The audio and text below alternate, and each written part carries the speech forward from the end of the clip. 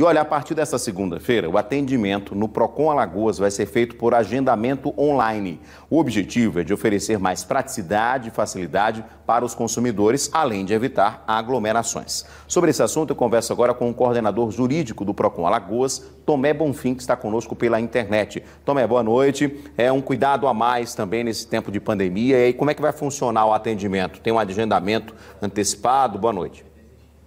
Boa noite. Sim, é verdade. A gente, embora o PROCON Alagoas, desde o começo da pandemia, não tenha parado, né, a gente teve um aumento muito grande de atendimento pelo telefone e pelo aplicativo de mensagem, mas agora visando aí atender os protocolos de segurança e tentar aí evitar essa disseminação da Covid-19, a gente está com esse atendimento. Exatamente, funciona dessa forma. Aquelas pessoas que precisarem se deslocar ao Procon Alagoas buscando atendimento, devem antes fazer o seu agendamento, né, buscando aí o site agendamento.ceplag.al.gov.br e aí marca, preenche um cadastro lá, se já não tiver preenchido, login e senha, escolhe lá Procon Sede, faz o seu agendamento e vai ser atendido. É muito importante ressaltar que isso é necessário apenas para aquelas pessoas, para os consumidores que busquem fazer aí a sua reclamação. O atendimento do cartório e as audiências continuam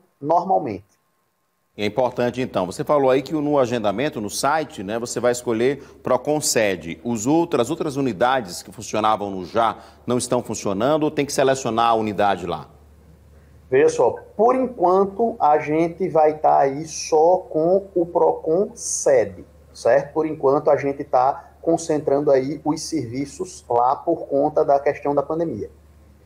Perfeito. Então vamos repetir o endereço para que você possa agendar. Já a partir de segunda-feira, então você não vai poder ir diretamente ao PROCON sem agendar. Precisa agendar e eu queria que você repetisse o endereço para agendamento.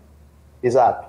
agendamento.ceplag.al.gov.br. É exatamente isso, Edson. A gente solicita que a população agende antes o atendimento para a gente evitar aí as aglomerações.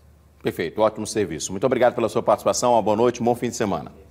Eu que agradeço, boa noite.